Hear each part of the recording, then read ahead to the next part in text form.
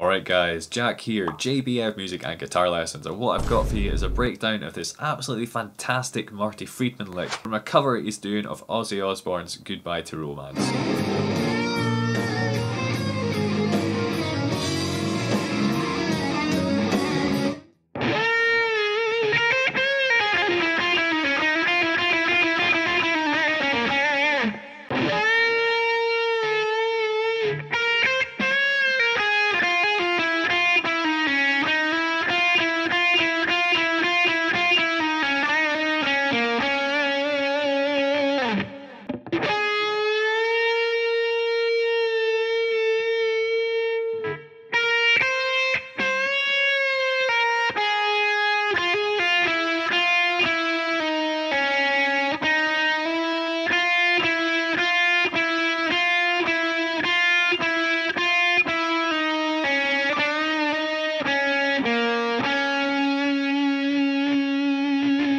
Patreon.com forward slash JBF Music is where you can get the tabs for this, but let's break it down.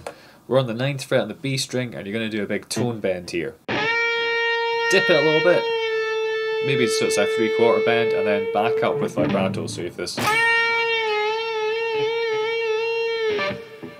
So bend by a tone, dip it to maybe 3 quarters, and then vibrato.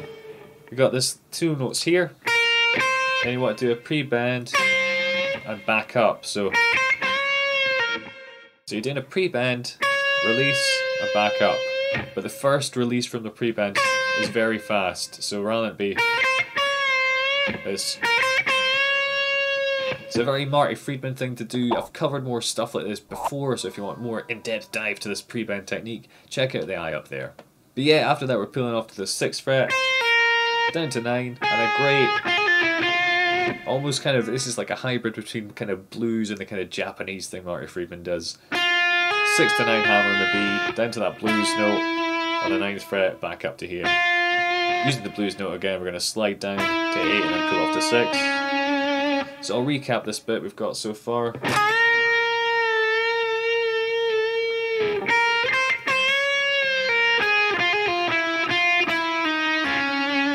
Slide into the blues note, and this is really crunchy, it's awesome. And then toggle between this 9th fret on the G and the 6th fret on the B.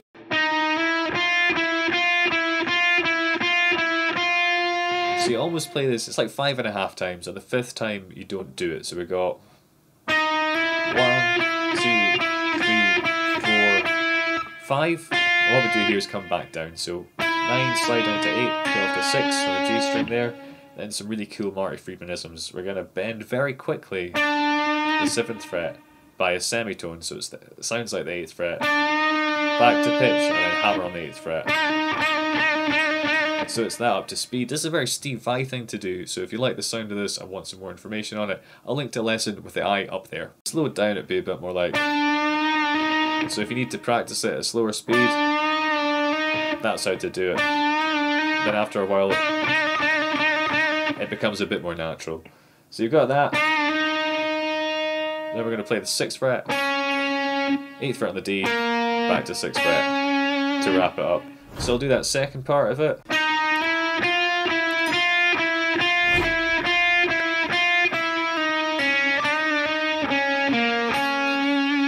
What I tend to do is a little upward rake here, so I tend to go uh, up on the G string on the 6th, up on the, uh, the D string on the 8th, and then just like a down for that final one on the 6th fret of the G. So just to quickly gloss over the theory here, you might have recognised we're pretty much in a pentatonic box, or kind of a blues box, in B flat really. So, um, so if you notice it's mainly these notes, well done to you. What we are doing is adding in the ninth here, so that's that. one. And then really, really leaning into the the blues note. So for example, there's that lick where it's kind of like, and then obviously we've got the uh, and the super crunchy part. And I suppose when we're doing this pre-bend thing, it's kind of hinting at a major third, but only in passing. If you've got something you're working on and want feedback or custom video lesson, please don't hesitate to get in touch through lessons at jbfmusic.com or Facebook. We'll have a chat and see if I can sort you out.